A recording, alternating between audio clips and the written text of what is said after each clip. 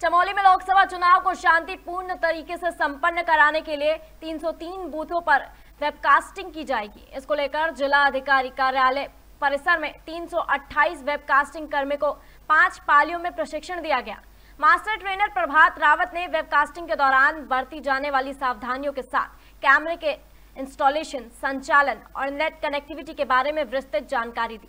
Chamoli collector Himanshu Khurana जानकारी देते हुए बताए कि मतदान के दिन 303 बूथों पर लाइव स्ट्रीमिंग की जाएगी व वेबकास्टिंग कंट्रोल रूम से निगरानी रखी जाएगी। यानी इन केंद्रों में मतदान शुरू होने से लेकर मतदान की समाप्ति तक की पल पल की गतिविधियों पर आयोग की सीधी नज़र रहेगी।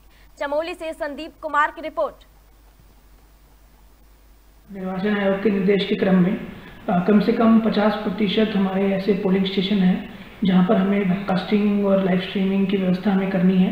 जिसका अवलोकन जनपद स्तर पर नहीं राज्य और निर्वाचन आयोग स्तर पर भी इसका किया जा सकेगा।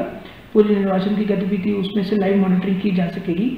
उसके लिए हमने पहले ही ऐसे बूथ आइडेंटिफाई कर लिए थे, जहाँ पर नेटवर्क की सुविधा काफ़ी ढंग तक सुचारू है।